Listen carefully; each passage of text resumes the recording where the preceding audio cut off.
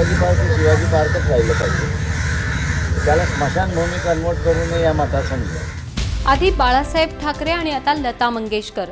दहा वर्षांच्या अंतरानं मुंबईच्या शिवाजी पार्क मैदानात या दोघांना अग्निसात करण्यात आलं. इथेच आता लता मंगेशकर यांचं स्मारक उभं करण्याची मागणी सुद्धा होऊ लागलेली आहे. तर शिवाजी पार्कची स्मशानभूमी करू नये असं मत वंचित बहुजन आघाडीच्या प्रकाश आंबेडकरांनी व्यक्त केलंय. पण दोन अंत्यविधी झाल्यानं हे मैदान खरोखर स्मशानभूमी बनतंय का? मुंबईत सार्वजनिक अंत्यविधीसाठी दुसरी जागा नाही का? अंत्यसंस्कारासाठीचे नियम काय सांगतात? शिवाजी पार्कच्या रहिवाशांना याविषयी काय वाटतं? या प्रश्नांची उत्तरं जाणून घेऊयात आजच्या सोपी गोष्टमध्ये.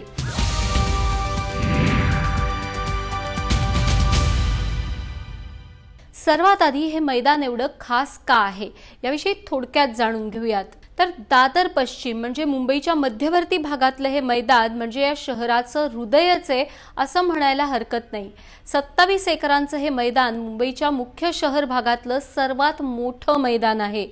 ही जागा एकोणीसशे पंचवीस साली तेव्हाच्या महापालिकेनं जनतेसाठी खुली केली. त्यावेळी मैदानाचं नाव होतं माहीम पार्क. मग एकोणीसशे सत्तावीस साली या मैदानाचं छत्रपती शिवाजी महाराजांच्या नावावरून शिवाजी पार्क असं नामकरण झालं. मुंबईच नाही तर महाराष्ट्राच्या इतिहासामधल्या अनेक महत्त्वाच्या क्षणांचं शिवाजी पार्क मैदान साक्षीदार आहे. मग ते भारताच्या स्वातंत्र्यासाठीचा लढा असो संयुक्त महाराष्ट्राचं आंदोलन असो राजकीय पक्षांच्या सभा असोत. शिवसेनेचा जन्म या मैदानातच झाला. दरवर्षी सहा डिसेंबरला डॉक्टर बाबासाहेब आंबेडकरांच्या महापरिनिर्वाण दिनी त्यांचे अनुयायी इथेच जमा होतात. मुंबईला क्रिकेटची पंढरी बनवण्यातही या मैदानाचं योगदान मोठं आहे. सचिन तेंडुलकरनं याच मैदानात क्रिकेटचे धडे गिरवले होते. तर विजय मांजरेकर एकनाथ सोलकर सुनील गावस्कर संदीप पाटील ते अलीकडे अजिंक्य रहाणे श्रेयस अय्यर पृथ्वी शॉ क्रिकेटचं जग गाजवणारे मुंबईचे अनेक खेळाडू कधी ना कधी या मैदानात खेळलेले आहेत. आणि क्रिकेटच नाही इथे मलखांब टेनिस फुटबॉलचाही सराव चालतो. खेळाचं मैदान घोषित झालेल्या या मैदानात राजकीय सभांसाठी सुद्धा कोर्ट परवानगी देत नाही. मुंबई महानगरपालिका कायदा कलम चारशे चाळीसनुसार नेहमीच्या आखून दिलेल्या जागेव्यतिरिक्त इतर जागी अंत्यसंस्कार किंवा दफन करता येत नाही. तसंच मैदानांचा वापर कसा करायचा याचे सुद्धा अनेक नियम आहेत. पण काही विशिष्ट परिस्थितीमध्ये राज्य सरकारनं आदेश काढला तर महापालिका आयुक्त एखाद्या जागी अंत्यसंस्कारासाठी परवानगी देऊ शकतात. बाळासाहेबांचं निधन झालं त्यावेळेला त्यांच्या अग्निसंस्कारांसाठी कायद्यामध्ये तात्पुरता बदल करण्यात आला. भर मैदानात स्मारक होऊ नये म्हणून तेव्हाच्या काँग्रेस सरकारनं रातोरात अंत्यदर्शनासाठी उभारलेलं बांधकाम हलवलं होतं. त्यानंतर क्रिकेट प्रशिक्षक रमाकांत आचरेकर यांचं पार्थिवही काही काळासाठी या मैदानात आणण्यात आलं होतं. आता लता दिदींच्या अंत्यसंस्कारासाठी पंतप्रधान आणि मुख्यमंत्री येणार होते तसंच इथे मोठी गर्दी जमा होऊ शकते. त्यामुळेच महापालिका आणि पोलीस आयुक्त हे एकत्र आले आणि त्यांनी चर्चा करून शिवाजी पार्कची निवड केली. तिथल्या एका मर्यादित जागेमध्येच अंत्यसंस्कारासाठी परवानगी देण्यात आली.